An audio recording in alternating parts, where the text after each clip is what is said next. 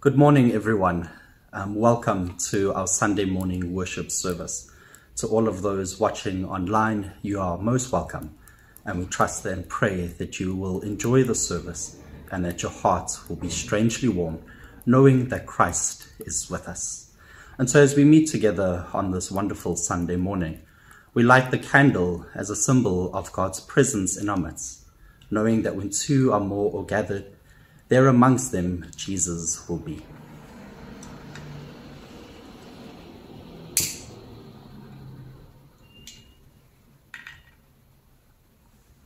Our opening hymn for the Sunday morning is one of my favorites. And so, where you are in the comforts of your home, join us as we sing together Blessed Assurance, Jesus is mine. Oh, what a foretaste of glory divine.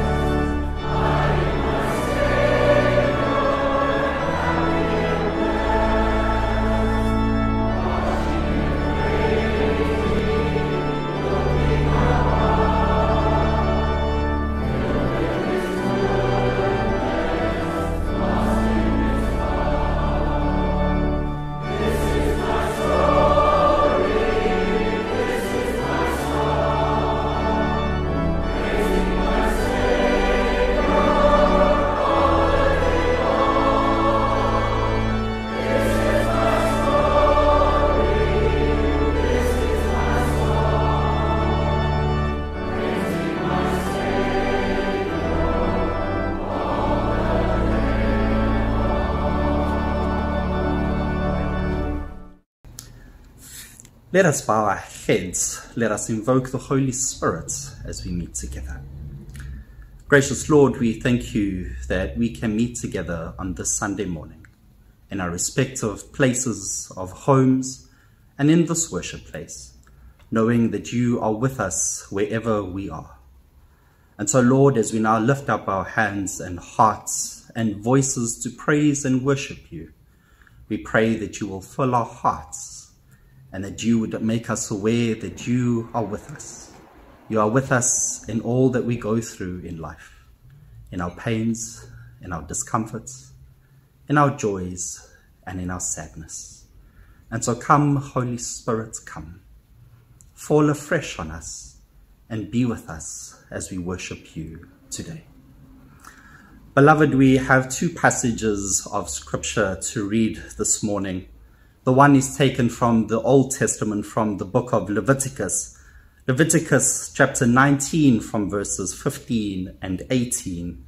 And the second one is taken from the New Testament, the first gospel, the Gospel of Matthew, chapter 7, verses 1 to 6. And so if you have your Bibles before you or around you, I pray that you would open it up with me to our first reading, Leviticus 19, and I'll be reading to us from verses 15 to 18 from the NIV translation. Leviticus chapter 19, verses 15. Do not pervert justice. Do not show partiality to the poor or favoritism to the great, but judge your neighbor fairly. Do not go about spreading slander amongst your people. Do not do anything that endangers your neighbor's life. I am the Lord. Do not hate a fellow Israelite in your heart. Rebuke, rebuke your neighbor frankly so that you will not share in their guilt. Do not seek revenge or bear a grudge against anyone of your people, but love your neighbor as yourself. I am the Lord. Our second reading is taken from the Gospel of Matthew, Matthew chapter 7, verses 1 to 6. Do not judge others, or you too will be judged. For in the same way as you judge others, you will be judged, and with the measure you use, it will be used against you. Why do you look at the speck of sawdust in your brother's eye? And pay no attention to the plank in your own eye? How can you say to your brother, let me take the speck out of your eye, when all the time there is a plank in your own eye? You hypocrites. First take the plank out of your own eye, and then you will see more clearly to remove the speck from your brother's eye. Do not give dogs what is sacred do not throw your pearls to the pigs. If you do, they may trample them under their feet and turn and tear you to pieces. This is the word of God for the people of God. Thanks be to God. The title for this morning's message is Judge Not Lest You Be Judged. Judge not lest you be judged. And I want to begin this morning by reading you a true story that I feel many of you will be able to relate to as you sit in your homes and listen to this message. There was once a lady named Maureen who went to church each and every Sunday. Every Sunday, whether it was snowing, raining, or the sun was shining, she would go to church to pray and listen to the message. But her presence was often met with whispers, raised eyebrows, and judgmental stares. While she sat in the pews, many would whisper about how worn out her clothes were, about how she stumbled over her own words, and about how she couldn't even walk properly. To many, Maureen seemed out of place in the polished pews and fancy church.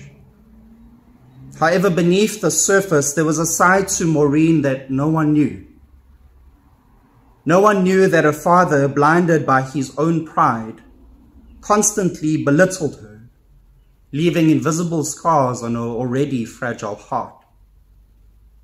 No one knew that her mother added to her pain with harsh criticisms, making her feel isolated and alone.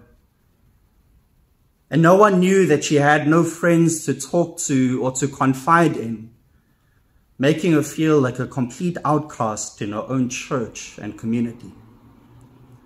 As the days turned into weeks, her visit to the church became increasingly more and more difficult. While she sought refuge in the familiar worship and comforting words of the sermon, judgmental stares and Whispered criticisms made her feel even more isolated and alone than ever before. The one place Maureen hoped she would be loved and accepted for who she was and what she's done became a battleground for her own emotions. Two months later, Maureen was sadly found dead with a letter under her pillow that read, Dear God, Today, the minister spoke about the importance of not judging others, a lesson I really believe in. Yet as I sat in the church, I could not help but feel the weight of judgments upon me. The whispers, the stares, the subtle comments, they have not gone unnoticed. While I may not dress in the finest clothes or speak as well as others do, Lord, my faith is real and my heart is pure. I came to church seeking refuge, hoping to find a place to belong in, a community to be part of. But the judgment I feel often overshadows the peace I yearn for. However, I hold no resentment in my heart. Instead, I truly pray for each and every member of our congregation. I pray that their hearts may be open and that they would see beyond mere appearances and embrace the true essence of our Christian faith love, acceptance, and unity in Jesus Christ.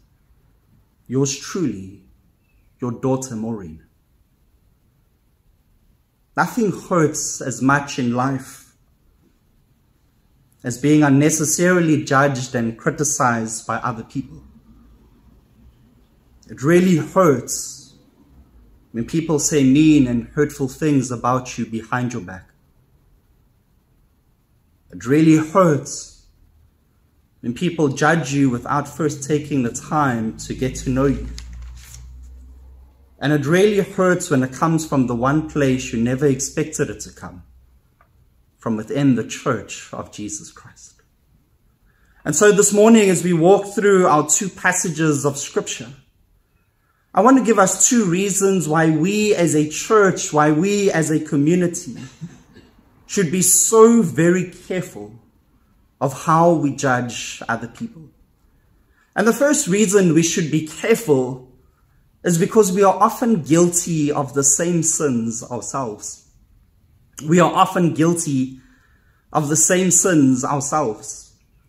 In Matthew chapter 7 verses 4, Jesus says, How can you say to your brother, let me take the splinter out of your eye while there is a log in your own eye? And what Jesus is essentially saying to us is before we go around judging and criticizing other people, we should first take a good look at ourselves in the mirror before we go around judging and criticizing what other people say, do, or by their outward appearance, we as Christians should first take a good look at ourselves.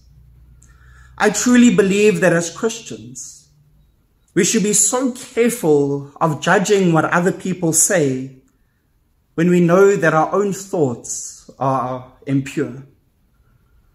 We should be so careful of judging what other people do when we know that we have committed the same or even worse sins ourselves. And we should be so careful of judging what we see on the outside, the mere appearance of people, when we know that our own hearts are not in the right place with God. And that is why Jesus says to us in Matthew chapter 7, First take the log, the speck out of your own eye before you go around wanting to take the splinter out of your brother's eye. In other, words, in other words, before you judge and criticize people, first take a good look at yourself and ask yourself, where have I fallen short of the glory of God? I once heard a story about an elderly gentleman who went to church each and every Sunday, but all he would do is moan and groan. He would complain about the children who were too loud during the service. He would complain that the church's new worship is too modern and that it lacks contemporary hymns. He would complain that the service carries on for too long From the moment he walked into the church to the moment that he left, all he did was moan and groan and groan and groan.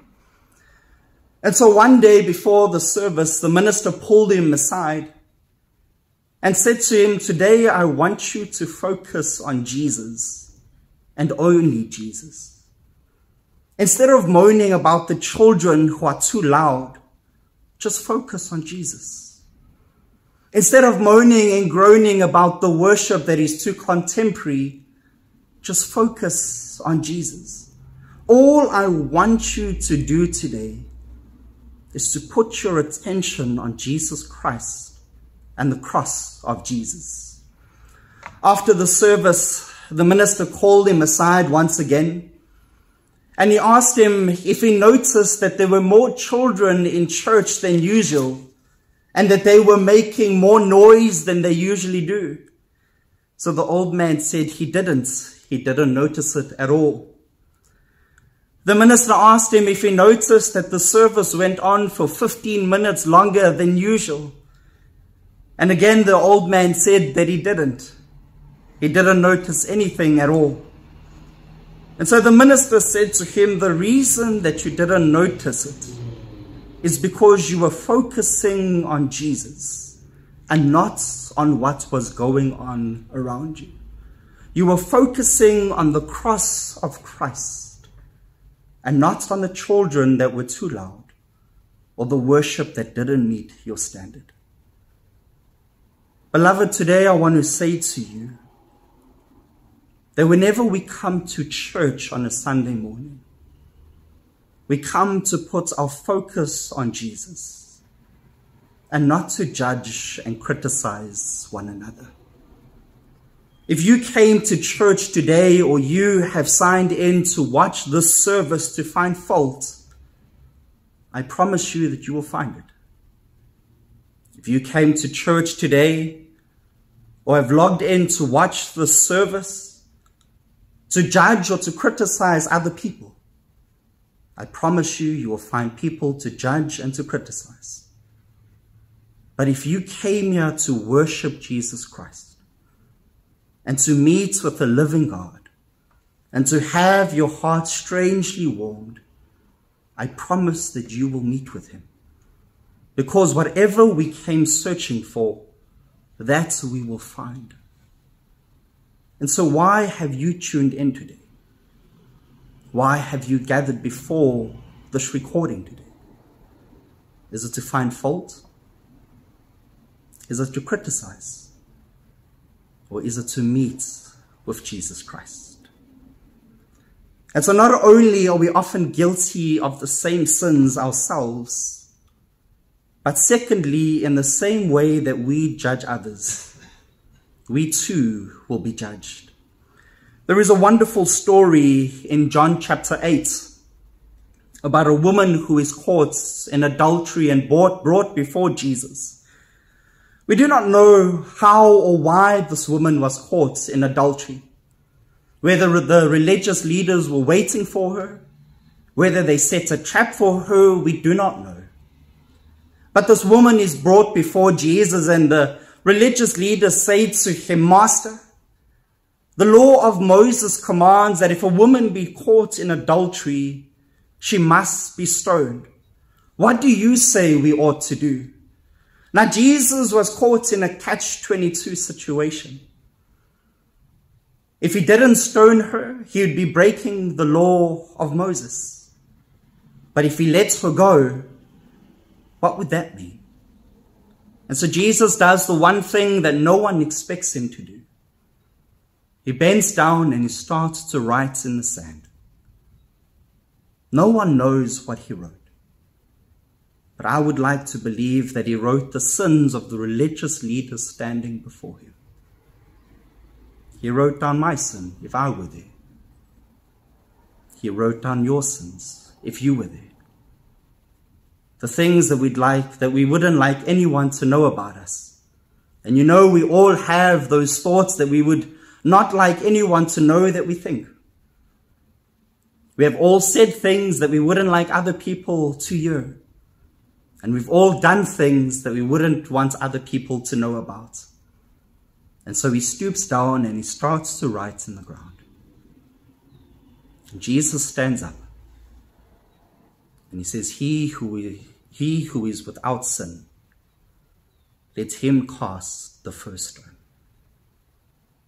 And so this morning, if you are without sin, I invite you to cast the first stone. I invite you to be the first one to judge, the first one to criticize, the first one to find fault. But remember, in the same way that we judge others, we too will be judged. And then Jesus does something beautiful. He looks down at this woman who is naked and ashamed. And he says to her, My daughter, where are all of those who have come to judge you? And she says, They have left. And Jesus says, I too do not judge you. Go and sin no more. Beloved, before we go around judging and criticizing other people, let us first take the log out of our own eye before we take the speck of sawdust out of the eye of someone else. May God bless you. May God keep you. May God cause his face to shine upon you and his countenance be lifted to you. And may you always know that you are made by love, in love, and for love. God bless you. Amen. Let us bow our heads. Let us come to God in prayer. Gracious and merciful Lord, as we have now listened to your word, we pray that this word will not simply remain in our heads, but will move down into our hearts May it cause each and every one of us to take a good look at ourselves within the mirror and to first remove the log in our own eye before trying to remove the speck of sawdust from the eye of another. And so, Lord, thank you that you have met with us. Thank you that you have spoken to us. Thank you that you have guided us and continue to guide us. In Jesus' name we pray. Amen. And so where you are, I invite you now to join in our closing hymn, and what a fitting hymn to finish our service with. Guide me, O thy great Jehovah, pilgrim through this barren land. I am weak, but you are mighty. Hold me with your powerful hand.